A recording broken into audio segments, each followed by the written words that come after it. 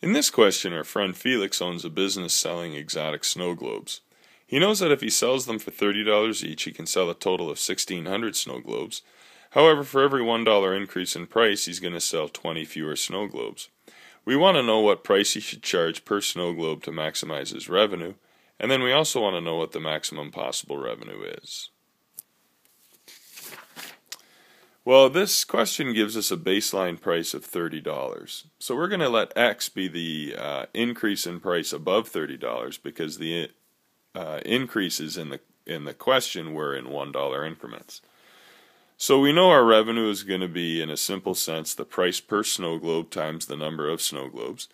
We know that uh, the price per snow globe will be 30 plus X because we're starting at a reference price of $30 and we're adding X dollars to it. But since uh, 20 fewer snow globes are uh, sold for every additional dollar in price, we know that the number of snow globes will be 1600 minus 20x. That means that this particular parabola, which opens downwards, we know that because the um, uh, highest degree on x will be 2, and the coefficient of that will be negative. Um, we see that the zeros in this case are at negative 30, because 30 plus x equaling 0 implies x equals negative 30, or 80, because 1600 minus 20x equaling 0 implies x equals 80. So the axis of symmetry is therefore at negative 30 plus 80 quantity divided by 2, which means the axis of symmetry has an x value of 25.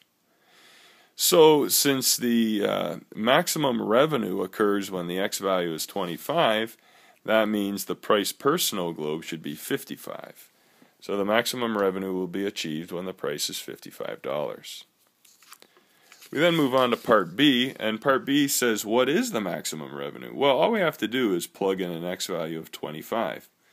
Our revenue is going to be 30 plus 25 over 1600 minus 20 times 25, which is going to equal 60,500 when we uh, evaluate it. So the maximum possible revenue for Felix in this case will be $60,500.